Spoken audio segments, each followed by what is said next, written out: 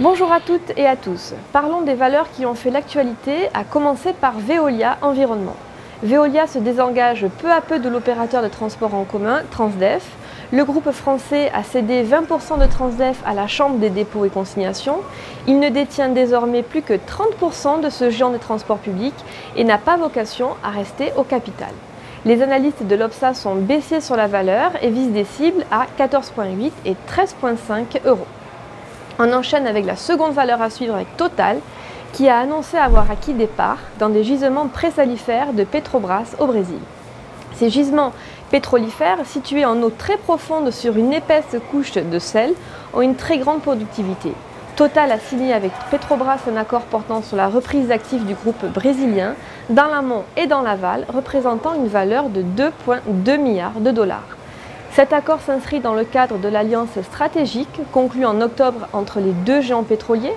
Et en résumé, selon BFM Business, Petrobras ouvre son monopole local à Total et le français, lui, permet de s'étendre à l'international. Les analystes de l'OPSA sont haussés sur la valeur et visent des cibles à 50,3 et 51,8 euros. On passe à la stratégie du jour et nous nous intéressons à Kering. Graphiquement, le titre évolue au sein d'un canal haussier en place depuis juin 2016. Du côté des indicateurs techniques, les moyennes mobiles à 20 et 50 séances sont toutes deux positivement orientées, tandis que le RSI se situe en territoire positif sans être pour autant dans sa zone de surachat. Ainsi, tant que 200 euros reste support, une poursuite de la phase de hausse est attendue vers 217 et 229 euros.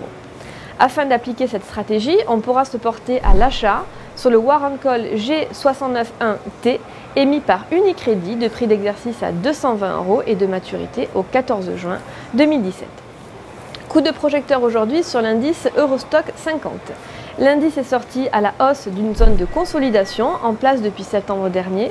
Au-dessus des 30 057 points, une poursuite de la phase de progression est attendue en direction des 3393 et 3460 points.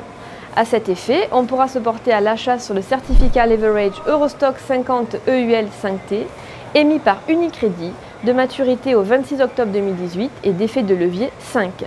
Une variation de 1% de l'Eurostock 50 se traduira ainsi par une variation haussière ou baissière de 5% du produit. Pour Trading Central, c'était Émilie Lozy en direct de la Bourse de New York. Très bonne journée à vous.